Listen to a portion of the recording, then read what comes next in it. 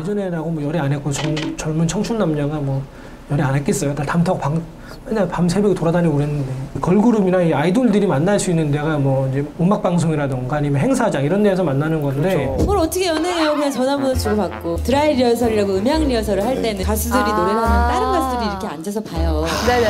그럴 때 이제 자기가 마음에 드는 가수를 중점적으로 보게 되잖아요. 대기실 이제 대기하는 중간에 쪽지를 주고받거나 이런 경우들이 좀 있으면서 이렇게 점점 이렇게 사랑이 싹 트는 경우가 많았어요. 낭만적이었네요. 그래서 아예 대기실도 원천 봉쇄하고 심지어 이제 대기실에 없는 경우는 이제 차례만 그랬군요. 이렇게 해서 어, 접근을 못하게 이런 뭐.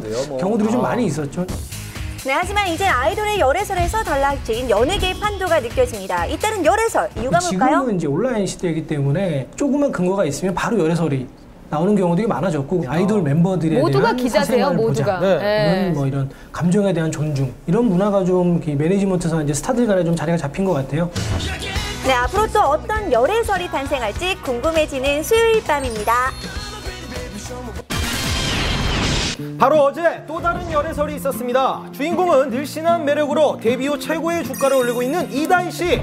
열애 상대로 지목된 사람은 현재 자신의 소속사 대표였는데요.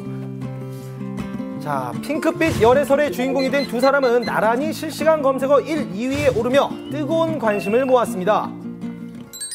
2002년 슈퍼모델 출신인 이다희 씨. 안녕하세요. 27번 이다입니다. 저의 얼굴 잘 보이시죠? 아, 이때 보이시네요. 슈퍼모델 어, 긴장하셨어요. 죄송합니다. 너무 떨려서. 비웃어요. 자, 드라마 너의 목소리가 들려를 통해 사랑받기 시작했습니다. 과연 이들의 연애는 사실일까요? 안녕하십니까 매니지먼트 부입니다. 구봉건 대표님이 대표님 맞으시죠? 네. 대표님하고 혹시 전화 해 보셨어요? 아, 저 지금 사무실 막 들어와서 이거 지금 전화 받느라 받기만 하느라 네. 연락 한 번도 안 해봤어요. 아 그러세요? 대표님에 대해서 좀 알고 싶어서 성실하신 분이세요. 네, 아, 성실하신 분입니다. 성실하세요? 성실이 네, 최고죠. 네. 저는 알고 있는 게 없습니다. 어, 구봉건 대표는 동안 외모에 큰 키, 또 잘생긴 얼굴, 또 거기에 목소리도 좋아서 어, 여자 기자들 사이에서는 훈남 대표로 유명합니다.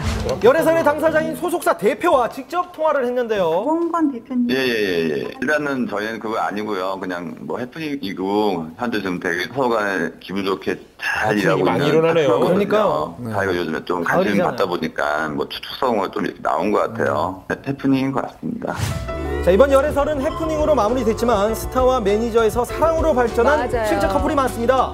배우 김윤진 씨를 비롯 양현석, 이은주 씨도 대표적인 케이스죠. 자, 연예계에 이 같은 커플이 많은 이유는 뭘까요? 아무래도 연예인과 매니저는 힘든 연예계 이런 환경 속에서 기쁜 일과 슬픈 일을 같이 하는 그런 사이다 보니까 뭐 사내 커플이 생기듯이 그렇게 자연스럽게 사랑의 감정이 싹 트는 것 같습니다. 다희 씨 앞으로도 좋은 소식으로 또 만나뵐게요. 네, 80년대를 주름잡던 소방차 정원관 씨가 재혼이 아니냐는 많은 오해를 받았습니다. 왜일까요? 사진을 보니까 저 연구랑 좀 닮았죠? 형님, 해명 들으러 한밤이 갑니다. 80년대 가요계를 평정했던 인기그룹 소방차의 정원관 그의 결혼 소식이 전해져 화제가 되고 있습니다. 예비 신부는요 깜짝 놀랄 미모의 소유자 잠시 후 한밤에서 공개하겠습니다. 어, 진짜요? 정원관 씨가 공개해요? 장가를 간다고 합니다. 어 정말 못 갈 줄 알았는데 축하드려요 형님. 이야, 아, 야. 오늘 형님 진짜 가는구나. 정말 가는 거 맞죠? 가야죠. 장가 간다 어때 살까지 빠지셨어요? 이 마음고생이 최고인 것 같아, 살 빠지는 거는. 아니, 정말 결혼은 이한 번이 맞는 것 같아요.